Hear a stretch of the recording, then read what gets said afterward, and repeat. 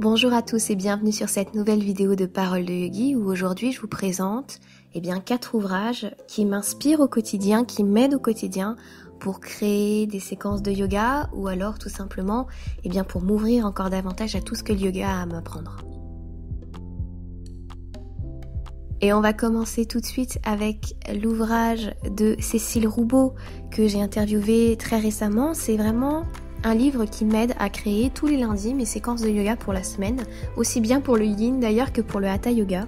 C'est un ouvrage qui est très complet, vous pouvez trouver toutes les indications sur les asanas, sur les postures de yin yoga au complet, avec quel méridien ça vient travailler, pourquoi, les variations. Vous avez toute cette partie-là, notamment à la fin du livre, et puis vous avez au centre du livre tout un tas d'exemples euh, de construction de cours, des cours à essayer de 30 minutes, 1 minute, des séries qui sont liées peut-être à une articulation. Vous avez aussi une série notamment euh, détox, une série digestion, des séries qui sont liées aux femmes, euh, à leurs besoins lorsqu'elles sont enceintes ou lorsqu'elles ont des syndromes prémenstruels.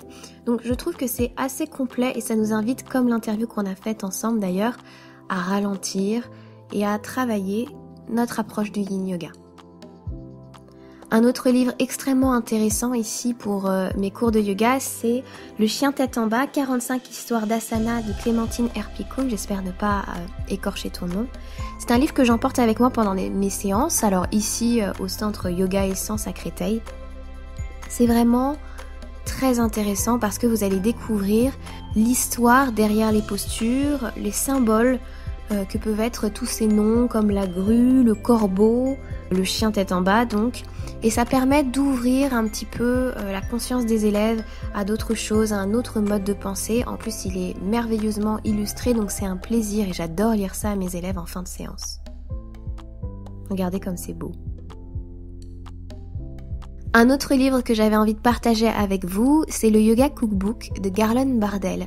Ce livre est extrêmement complet. Ici, on a à la fois des recettes, mais on a également des séquences. Vous avez des recettes qui sont organisées euh, pour le matin, le midi, le soir. Vous avez un 4 heures aussi avec des recettes de thé que je vais euh, m'appliquer à essayer. Et vous avez donc des petites séries qui sont liées au fait eh bien, de bien se réveiller, des séries qui sont liées au fait de bien digérer. Vous avez tout un passage euh, sur la question de la digestion, sur le panier du yogi. Enfin, c'est extrêmement intéressant de pouvoir voir comment on peut amener le yoga dans son assiette. Et ça, c'est une question qu'on va partager ensemble euh, lors d'un prochain épisode de Parole de Yogi, le podcast. Et puis dernier livre que j'avais envie de partager avec vous, c'est un livre un petit peu doudou pour moi. C'est Yoga, rayonner sa puissance au féminin de Charlotte Saint-Jean, ça vient de sortir.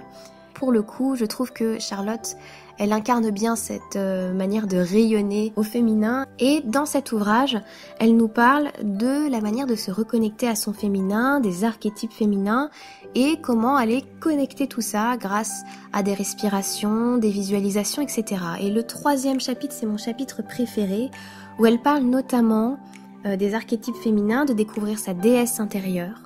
Et il y en a une, un archétype en tout cas qui m'a beaucoup touchée et que j'avais envie de partager avec vous, ici et maintenant. La conteuse, l'artiste. Elle est là pour s'exprimer, pour être entendue, pour partager ses contes, ses opinions, ses idées et ses créations avec le monde. Parfaite oratrice et conférencière, elle se distingue aussi en tant qu'écrivaine, comédienne et professeure. Rarement à court de mots, elle est là pour faire passer des messages. Pleine de ressources et d'idées, sa principale préoccupation est de transmettre. C'est de cette façon que sa puissance se révèle. Je suis sûre que ce passage parlera à beaucoup d'entre vous. Merci d'avoir regardé cette vidéo, j'espère qu'elle vous aura inspiré et qu'elle vous aura donné envie de découvrir tous ces ouvrages.